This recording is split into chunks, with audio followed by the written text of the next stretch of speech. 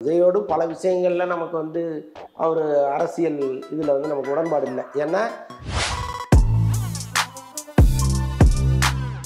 மாணவர்கள் உள்ளே வந்தால் ஒரு நேர்த்தியான அரசியல் இருக்கும் ஒரு நியாயமான அரசியல் இருக்கும் அப்படின்னு அவர் நினைக்கிறாரு. தலைவர் சொல்லிட்டாரு நம்ம அம்மாவை மதிக்கணும்னு நினச்சி அம்மாவை மதித்தவங்க இருக்காங்க. தலைவர் சொல்லிட்டாரு பொண்டாட்டி அடிக்கக்கூடாதுன்னு பொண்டாட்டியை தொடாதவன் இருந்தான் அடிக்காமல் ஸோ அப்படிப்பட்டதெல்லாம் நடந்தது எம்ஜிஆர் ஆட்சியில். அந்த அட்வைஸுக்கும் ஒரு லிமிட் இருக்கு. நீங்க வள வளன்னு அட்வைஸ் பண்ணிட்டு இருந்தீங்கன்னா அது விஜயா இருந்தா கூட எவனும் கேட்க மாட்டான் பூமர் எங்கள்கிட்ட போயிட்டே போயிடுவான் ஒருவேளை இந்த பேக்ல ஒரு வெடிகுண்டு இருந்திருக்கலாம். அந்த வெடிகுண்டை ஒரு பயணிகள் ரயில்லையோ அல்லது ஒரு கார்லையோ வச்சிருக்கலாம். அதை அதிர்த்து எடுத்து கொண்டு வந்து ஒரு பாதுகாப்பான இடத்துல போடுறதுக்காக கூட வரலாம். இவ்வளவு விஷயங்கள் அதுக்குள்ள இருக்கு. ஆனால் யுவன் சங்கர் ராஜா ஒரு அருமையான வாய்ப்பு அவருக்கு. கிடைச்சிருக்கு அதை வந்து அவர் மிஸ் பண்ணிட்டாருன்னு தான் நான் சொல்லுவேன். இதுதான் இருக்கிறதுலயே பெஸ்ட் இப்போ ரெண்டு பாட்டு இருக்குது இதுதான் அந்த படத்திலேயே இதை விட மோசமா பாட்டு. இருக்கு அது. பாக்கி படம்லாம் இதோட மோசமா இருக்குங்கிற மாதிரி தான் நான் கேள்விப்பட்டேன். இந்த வீடியோவை உங்களுக்கு வழங்குபவர்கள் bases pay secure digital payment with multiple features and great success rate வணக்கம். இன்றைய சந்திப்பில் நம்முடன் இணைந்திருப்பவர் வலைபேச்சு திரு அந்தணன் அவர்கள். வணக்கம். வணக்கம். ஒரு ஒரு பத்து நாள் இடைவெளியில் சந்திக்கிறோம். இப்போ கடந்த வாரத்தில் பள்ளி மாணவர்களுக்கு ப்ளஸ் டூ மற்றும் டென்த்து மாணவர்களுக்கு சிறப்பு பரிசுகள் வைர மோதிரங்கள்லாம் கொடுத்துட்டு மேடையில் பேசும்போது தமிழ்நாட்டுக்கு இப்போ தேவை வந்து நல்ல தலைவர்கள் அப்படின்னு விஜய் குறிப்பிட்டார். அது வந்து மிகப்பெரிய விமர்சனத்துக்கு ஆளானுச்சு. அந்த பேச்சை நீங்கள் எப்படி பார்க்குறீங்க விமர்சனத்துக்கு என்ன இருக்கு இதுலன்னு எனக்கு தெரியல. நல்ல தலைவர்கள் இது வரைக்கும் வரலன்னு சொல்லியிருந்தா அதை விமர்சனமா நம்ம கொண்டு வந்திருக்கலாம். நல்ல தலைவர்கள் இருந்தாங்க இப்போதைக்கு தேவைப்படுறாங்கங்கிறது தான் அதோட அர்த்தம். இனிமேல் நமக்கு நல்ல தலைவர்கள் வேணும்னு அவர் சொல்கிறாரு அப்படின்னா இப்போ இருக்கிற தலைவர்கள் நல்ல தலைவர்கள் இல்லைங்கிற ஒரு முடிவுக்கு அவர் வராரு. கிட்டத்தட்ட அது உண்மை தானே இப்போ த- திராவிட கட்சிகளை வந்து தொடர்ந்து ஆட்சி பண்ணுறதை நம்ம பார்த்துருக்கோம். தொடர்ந்து இங்கே வந்து ஒரு பாதி ப்ளஸ் இருக்குது பாதி மைனஸ் இருக்குது டோட்டலாக வந்து நாம் இந்த அடிப்படை விஷயங்கள் இங்கே வந்து எல்லாருக்குமே கிடைக்குதா? ஒன்றுமே இல்லைங்க. இந்த சாலை வசதி நீங்கள் யோசிச்சு பாருங்கள் ஒரு பக்கம் போட்டுகிட்டே போவாங்க இன்னொரு பக்கம் தோண்டிகிட்டே இருப்பாங்க. இப்போ இதை கூட உங்களால் சரி பண்ண முடியாத ஒரு ஆட்சி தானே இன்றைக்கி நடந்துட்டு இப்போ கள்ளச்சாராய சாவுலாம் பார்த்துட்டு ஒரு நாலு நாள் கழிச்சு இந்த நிகழ்ச்சி நடக்குது. அப்போ அதை அதை விட்டு அவர் பேசுவார்ல. ஸோ இதெல்லாம் சேர்த்து தான் அவர் வந்து ஒரு நல்ல தலைவர் இல்லைன்னு ஒரு சொல்ல வர்றாரு. அதை முற்றிலுமா தப்புன்னு நம்ம சொல்ல முடியாது. அதே மாதிரி அவர் வந்து மாணவர்களை வந்து அரசியலை ஒரு கேரியராக எடுத்துக்கங்க அப்படின்னு சொல்றாரு. இன்னொரு விஷயம் என்ன சொல்றாருன்னா மறைமுகமாகவும் நீங்கள் அரசியலில் ஈடுபடலாம். ம். சோஷியல் மீடியாவில் கொஞ்சம் கான்சியஸாக இருங்க அப்படிங்கிறாரு.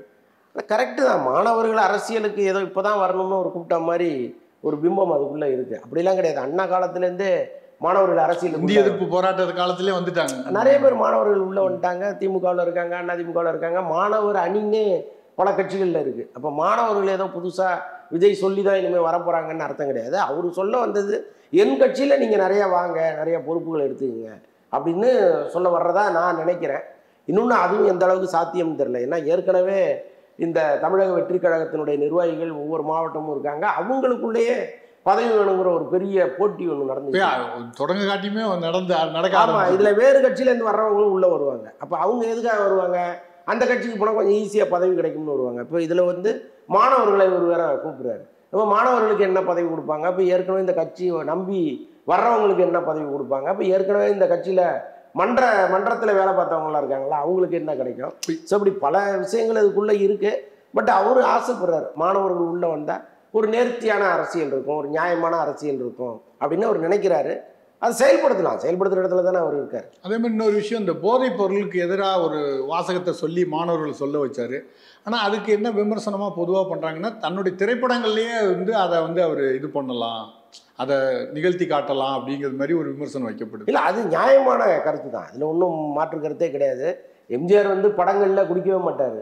நிஜ வாழ்க்கையிலையும் குடிக்காதீங்கன்னு அவருடைய ரத்தத்தின் ரத்தங்களுக்கு அவர் சொல்லியிருக்காரு. ஆனால் அண்ணாதிமுக குடிக்கிறவங்களுடைய எண்ணிக்கை குறைஞ்சு போச்சா என்ன? எல்லாருமே குடிச்சிட்டு வந்து எம்ஜிஆரை பற்றி ரொம்ப போதையில் உயர்ந்து பேசுவான் போதை தெளிஞ்ச பிறகு உயர்ந்து பேசுவான் நிதானத்தில் இருக்கும்போது பேசுவான் நிதானத்தில் இல்லாதப்போ பேசுவான். ஸோ அப்படி எம்ஜிஆரே விய வியந்துட்டே இருந்தாங்க. ஆனாலும் எம்ஜிஆருடைய கருத்துக்களை உள்வாங்கிட்டாங்களே தவிர அதை ஃபாலோ பண்ணல. பெரும்பாலானவர்கள் நீங்கள் நான் சொல்கிறது எங்கேயாவது கொஞ்சம் பேர் தலைவர் சொல்லிட்டாரு நம்ம குடிக்கக்கூடாதுன்னு குடியை ஒதுக்கினவங்க இருக்காங்க. தலைவர் சொல்லிட்டாரு நம்ம அம்மாவை மதிக்கணும்னு நினச்சி அம்மாவை மதித்தவங்க இருக்காங்க. தலைவர் சொல்லிட்டாரு பொண்டாட்டி அடிக்கக்கூடாதுன்னு பொண்டாட்டியை தொடாதவன் இருந்தான் அடிக்காமல் ஸோ அப்படிப்பட்டதெல்லாம் நடந்தது எம்ஜிஆர் ஆட்சியில். ஆனால் இன்னைக்கு வந்து காலம் மாறிட்டே இருக்குது கதைக்காக ஒரு கேரக்டரு அந்த கேரக்டருக்காக நான் அப்படி நடிக்க வேண்டியதாக போச்சு. ரொம்ப ஈஸியாக சொல்லிட முடியும் அவங்களால. இன்னொன்று இப்போ குடியில்லாத ஒரு சினிமாங்கிறது இன்றைக்கி ஆல்மோஸ்ட் இல்லாமல் போயிடுச்சு ஆனால் அந்த கடமை விஜய்க்கு இருக்குது நிச்சயமாக வந்து அவர் அதெல்லாம் தவிர்த்துருக்கணும். அப்படி தவிர்த்துட்டு அவர் சொல்லியிருந்தாருன்னா ஒரு நூறு சதவீதம் பொருத்தமாக இருந்திருக்கும். ஆனால் இந்த காலகட்டத்துக்கு இன்றைக்கி இருக்கிற சூழலை பொறுத்து அவர் இந்த அட்வைஸ் பண்ணது நிஜமாக நூற்றுக்கு நூறு வரவேற்கப்பட வேண்டிய விஷயம். ஏன்னா இன்னைக்கு போதை கலாச்சாரங்கிறது ஸ்கூல் வரைக்கும் வந்துருச்சு. பல ஊர்களில் இப்போ நீங்கள் சென்னை மாதிரி நகரங்களை விட்டுருங்க. ஒரு அடுத்த மாவட்ட சின்ன தலைநகர் சிறு நகரங்கள்ல கூட. சிறு நகரங்களில் கூட ஸ்கூல் வரைக்கும் போதை பொருள் வந்துருச்சு. ஸோ அப்படிப்பட்ட சூழல்ல மாணவர்களை தான் முதல்ல ஒரு எச்சரிக்கை செய்ய வேண்டியதாக இருக்குது அவர் சொன்னா கேட்குற அளவுக்கு அந்த இளைஞர்கள் இருப்பான். ஏன்னா. ஒரு ஹீரோ சொல்லும் போது அல்லது ஒரு அதுதான். தலைவராக இவர் சொல்லும் போது கேட்பாங்க. அதுதான் நம்ம விஜயோடு பல விஷயங்கள்ல நமக்கு வந்து அவர் அரசியல் இதில் வந்து நமக்கு உடன்பாடு இல்லை. ஏன்னா இந்த இது வரைக்கும் நாம் எப்படி ஒரு ஸ்டைலான அரசியலை பார்த்தோமோ அதே ஸ்டைலான அரசியலோட தான் இவரும் உள்ளே வராரு. ஒரு மாற்று அரசியலுங்கிறது இங்கே இல்லை. ஆனாலும் இது போன்ற விஷயங்களை ஒரு மாணவர்கள் மத்தியில் விதைக்கிறத நம்ம நிச்சயமாக வரவேற்றாங்க. இவரோட முழு பேச்சு இருக்குல்ல. இப்போ நாளைக்கு கூட ஒரு நிகழ்ச்சி நடக்க போகுது.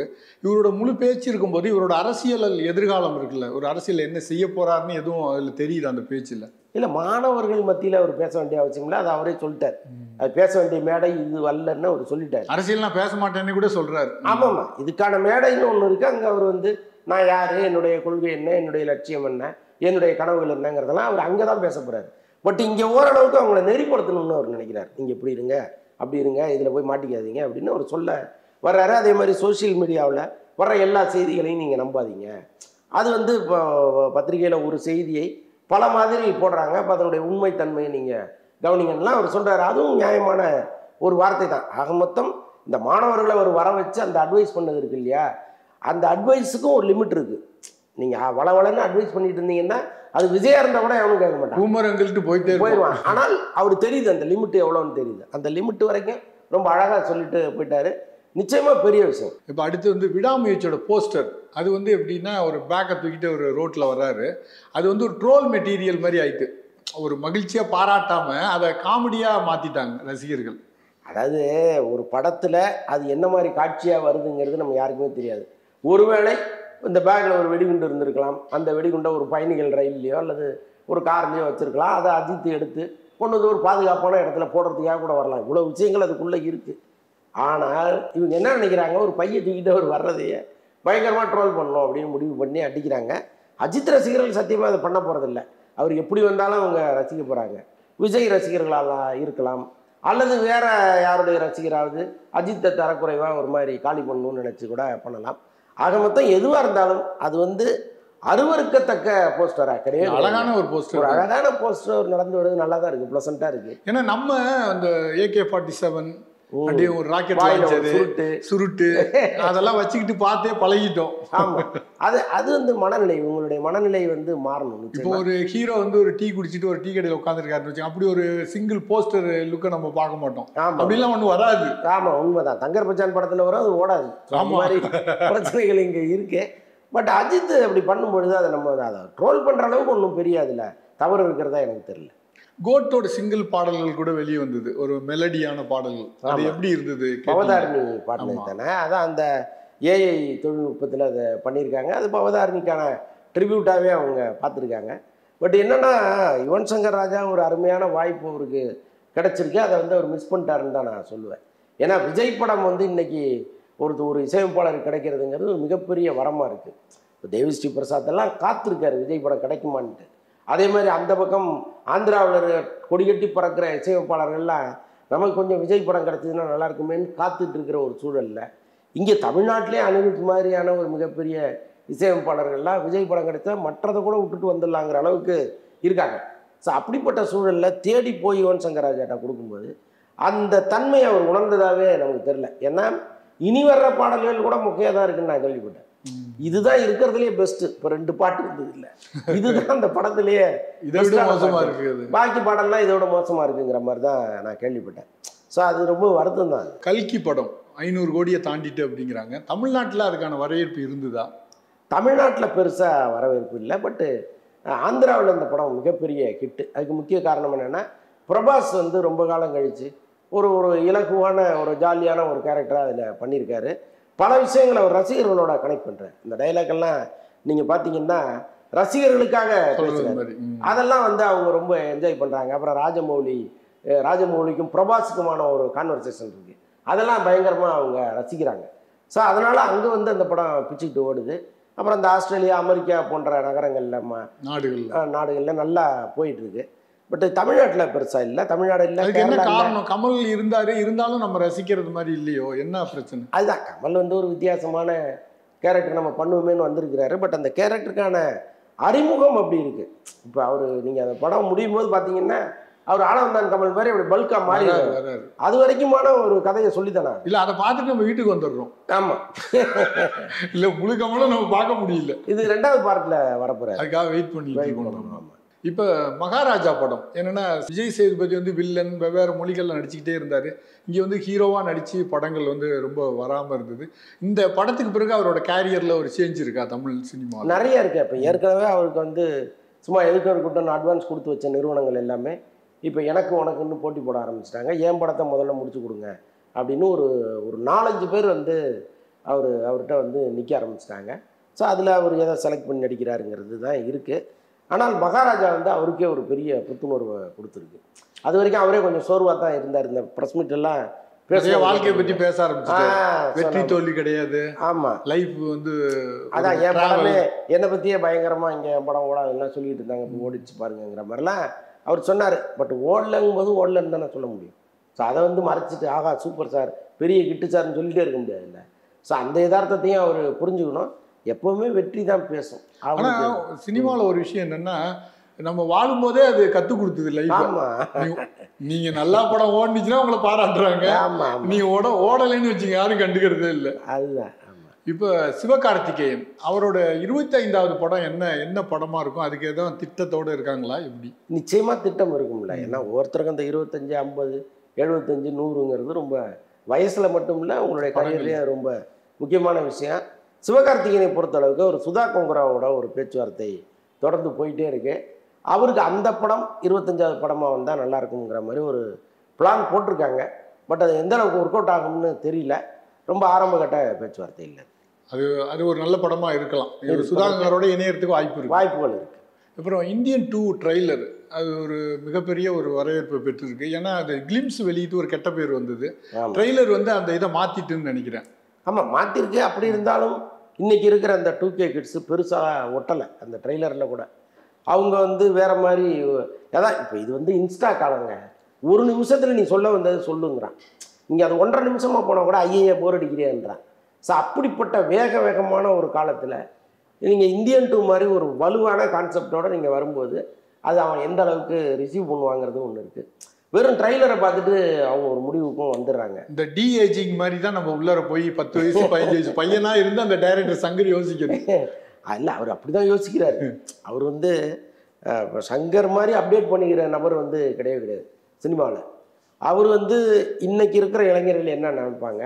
அவங்களுக்காக நம்ம இதுக்குள்ளே என்ன வச்சுருக்கோங்கிறதெல்லாம் பார்த்து தான் பண்ணியிருக்காரு. பட் இந்த படத்துக்கான கான்செப்ட்னு ஒன்று இருக்குல்ல அதை விட்டு வெளியில் போக முடியாதுல்ல. ஸோ அதை பண்ணியிருக்காரு பட் படமாக வரும்பொழுது எல்லாரையும் கவர்ற படமாக இருக்கும். அது ஒரு வெற்றி பெ- மிகப்பெரிய பிரம்மாண்ட படமா கண்டிப்பாக இருக்கும். அப்புறம் கடைசியா ஒரு கேள்வி.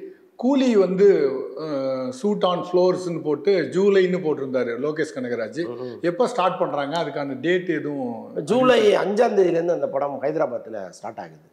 அதுக்கப்புறம் ஒரு நான் ஸ்டாப்பாக ஒரு முப்பத்தஞ்சு நாள் அங்கே எடுக்கிறாங்க. அதுக்கப்புறம் வந்து சென்னையில் கொஞ்ச நாள் ஷூட்டிங் பொதுவா அந்த நம்ம ஜெயிலர்லாம் படம் அந்த பேசப்படும் போது அந்த கதையெல்லாம் பேசப்பட்டுச்சு நிறையா. இப்போ அந்த கூலிலாம் லோகேஷ் கனகராஜ் பண்றதை பத்தி அந்த கதையெல்லாம் வெளியே வராம வெறும்னே தகவல்களா பேசுறது மாதிரி இருக்கு.